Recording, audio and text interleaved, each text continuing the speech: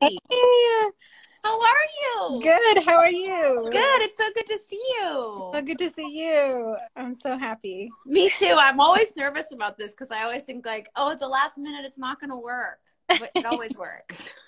Yeah. I was just telling everyone that I wanted to have my nephew come say hi. I know. I love your nephew. but he uh he started crying so my sister took him for a drive so oh shoot so harness is excited to launch the first 100 days reimagining america. Uh, it's an instagram live series. It sees this as a year um, the year of opportunity a change to reimagine a chance to reimagine our future where everyone can thrive. The first 100 days of a new administration sets the tone for the next four, four years. We're excited to be in conversation today to help us envision a more joyful, brighter future for everyone. And we're so happy to kick off the series with um, Miss Piper Perabo. And uh, so Piper is an artist, and she's also a Harness community member and a fierce advocate for underrepresented communities. Recently, she has supported uh, my work through uh, Sacred, um, to uplift concerns with Indian country COVID 19 pandemic. Thanks, Allie. I'll just say hi, everyone. Um, and let me introduce my friend, Allie. Um, she's the co founder of Protecting the Sacred, which is a project that's housed at Harness uh, that's working to protect Native culture and elders by supporting frontline efforts to combat COVID 19 in Native country, particularly in her own Navajo Nation. And she works at Harness and she's a screenwriter you kind of do a lot. You're busy. Uh, yes.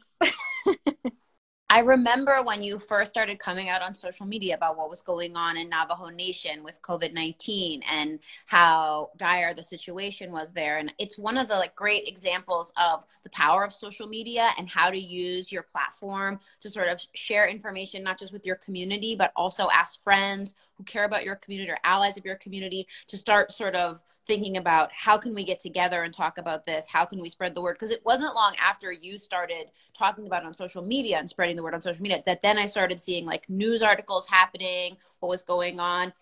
Um, world central kitchen came in sean penn was down there like all of a sudden people just started coming and it's a powerful tool. I mean you're a very good organizer so you're use it better than most but um how's it how are things there now um, things are better. Um, they're getting better, and which is really great because we we did get it real hard. Um, the death toll I was so concerned about just even a few weeks ago, um, but the the vaccine has arrived here, and okay. Yeah, and so it's we're actually we're doing really great with the vaccine rollout. I just saw something I posted it earlier from President Nez, um, who's the Navajo Nation, the president of the Navajo Nation, um, and he said that we've reached our goal of, uh, so it's almost the end of February, and um, over 100,000 people have been vaccinated in Navajo Nation. Great. And the population that lives within Navajo Nation is around 150 to 170,000 people. Oh wow! So that, yeah. that's a really high percentage that you've got vaccinated. Yes, and it's it's really great news, and you know, just a sigh of relief and I, I it's really amazing because tribal communities have been hit very hard in this pandemic. Mm-hmm. Um, but we're actually like, I'm just so proud of our communities because um, we've, you know, been given the, the vaccine to roll out within our communities. And, you know, that to me speaks to sovereignty. And we've been able to really take control of that and be strategic about how we're rolling out the vaccine. And it's been really successful, not just in Navajo Nation, but in a lot of tribal communities across. A, a lot of people were talking about um, when they were talking about changes in culture um, that are coming up under the new administration, and then the conversation that's been happening around sports, like um, the Washington football team that changed their name.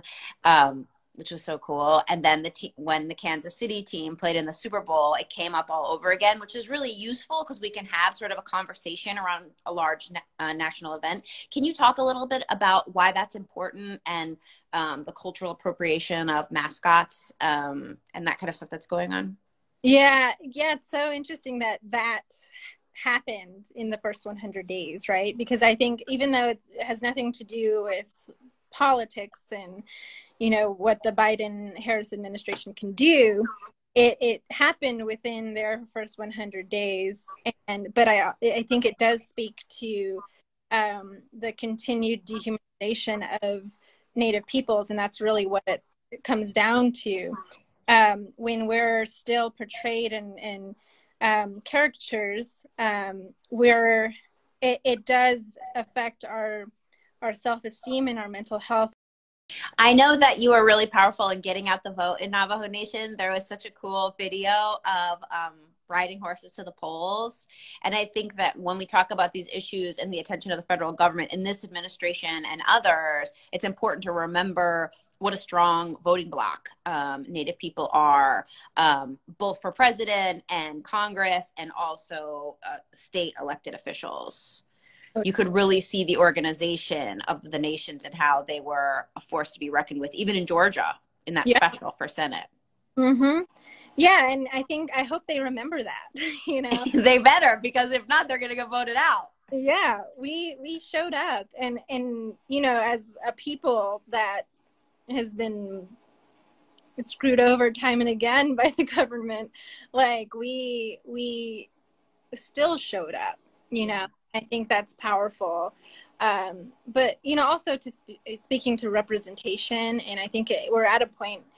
Um, in history where we're we don't want to be invisible anymore. And so that's also um, something that we're fighting against uh, combating invisibility. Um, there's a great vogue article a few years ago that said the new um, invisibility is the new form of racism against native americans. Hmm. and i absolutely believe that. And i think everything that we do moving forward you know we, we have to uplift uh, our indigenous brothers and sisters um, you know especially when it comes to things like even climate change because our ancestral knowledge um, will contribute a lot to that fight. So i think moving forward whatever the new administration does i hope they do sincerely um, create a space for us at the table. Um, not for just one person but for many of our leaders who have a lot to offer and I always think when there's a cause that you're working on, to take your cues from local leadership is the way to kind of get, if you're new, you know, for anybody who's watching this who's kind of new, when you want to get your foot in the door and start with activism, you want to see who are the leaders that are constantly showing up and um, on the ground. And I kept seeing women like you, you know? Yeah. Um, and it's and i when i realized that our values were so similar i thought i don't need to reinvent the wheel. I can just step in behind these strong women that are already leading and see how i can support. I'm gonna ask you um you know you're you're an amazing ally and like if you have um, any advice for anyone who wants to get involved uh, you touched on it a little bit before but um, folks who aren't from the community and, and want to get involved in native um, um, advocacy for other communities? Do you have any? One is um, the land acknowledgement is something that I didn't know about until I started paying more attention to um, what's going on. And um, you, if you don't know who were the people that lived on the land where you are now, you can start your self education right there.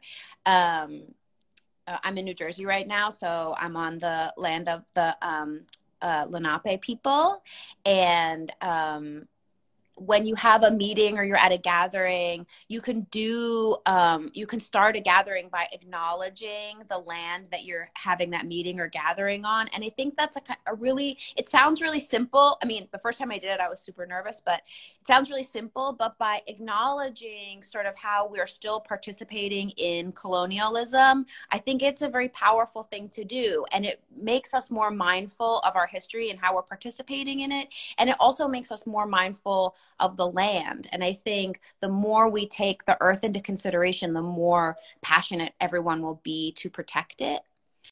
Yeah, so thank you, um, Piper. Um, thank you for helping us kick this off, and um, it's going to keep going. So stay tuned for the next one.